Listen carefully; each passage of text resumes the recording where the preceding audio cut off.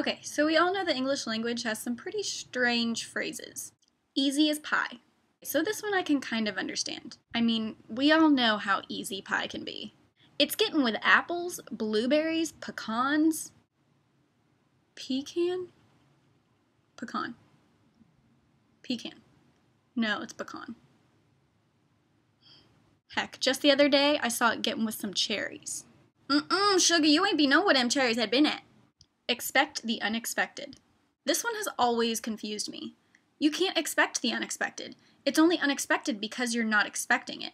Once you start expecting the unexpected, the unexpected becomes expected. Therefore, you're only expecting the expected.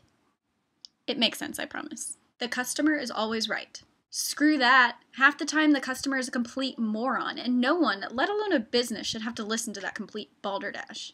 Okay, so I really just wanted to work in the word balderdash somehow. Don't judge me. Cute as a button.